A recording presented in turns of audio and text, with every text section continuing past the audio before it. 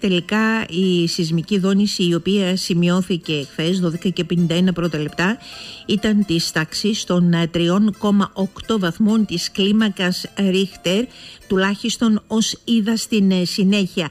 Αλλά εσείς που είσαστε καθηγητής γεωφυσικής στο ΕΚΠΑ, διευθυντής του Ινστιτούτου Φυσικής Εσωτερικού της Γης και Γεωκαταστροφών στο Ερευνητικό Κέντρο του ΕΛΜΕΠΑ, κύριε Φίλιππε Βαλιανάτε, θα ξέρετε καλύτερα. Καλημέρα σας, πώς είστε; Καλημέρα. Ε, δόξα τω Θεώ, καλά. Καθοδόν προς τα θαλάσσαρνα όπου κάνουμε γεωφυσικές έρευνες στην περιοχή. Να είσαστε λοιπόν όλοι σας πολύ προσεκτικοί, να είσαστε καλά και να μην αψηφάτε τις καιρικές συνθήκες, αν και εσείς το ξέρετε πολύ περισσότερο ε, από όλους. Δύσκολες αυτές τις μέρες. Δύσκολες. 3,8 χθες. Ναι, ε, ήταν ένας σεισμός ο οποίος εντάσσεται στο αναμενόμενο σύστημα της μεταθεσμικής ακολουθίας ε, η οποία εξελίσσεται ομαλά όπως πολλές φορές έχουμε πει στο διάστημα που έχει μεσολαβήσει.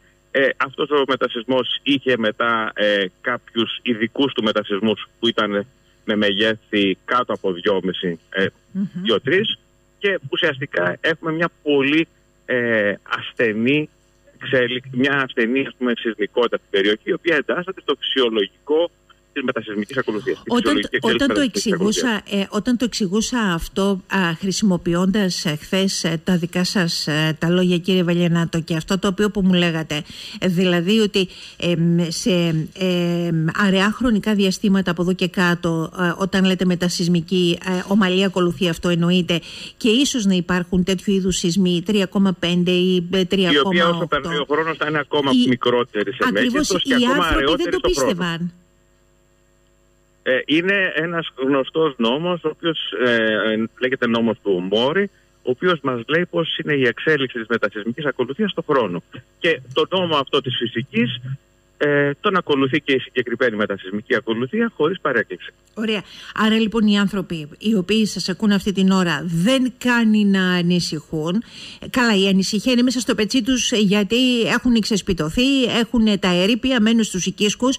Αλλά τους λέτε. Αυτό είναι άλλη τάξη θέμα, το οποίο έχει να κάνει με τη διαχείριση των ανθρώπων, της κοινωνίας, των επιπτώσεων, που αν θέλετε θα έπρεπε εμείς οι επιστήμονες των σεισμικών φαινομένων να είμαστε σιωπηλοί, γιατί αυτή είναι η δουλειά της πολιτείας και άλλων αρμόδιων σωστά, αρχών. Σωστά. Και όχι δουλειά μου. Σωστά. Εγώ άλλο ήθελα να πω ότι μέσα σε όλη αυτή την ανησυχία ήρθαν και τα 3,8 ρίχτερ χθες να τους ανησυχήσουν πολύ περισσότερο. Αλλά νομίζω τους δώσατε τα φώτα σας ότι θα υπάρχουν διαστήματα που θα δίνεται ένα τέτοιο σεισμό, διότι είναι μέσα στην εξέλιξη. Είναι μέσα στη φυσιολογική εξέλιξη και μάλιστα χαρακτηριστικά αυτή τη στιγμή ε, ήδη η επιστημονική μας ομάδα ε, έχει διετοιμάσει το επιστημονικό κείμενο για όλα όσα συνέβησαν τους τελευταίους Το πρώτο κομμάτι του ήδη έχει δημοσιευθεί και το πρώτο του κομμάτι αφορά την προσυσμική ε, διαργασία που ακολουθήθηκε ε, που ε, έχει, γίνει έχει γίνει δεκτό, υπάρχει ήδη σε διεθνές περιοδικό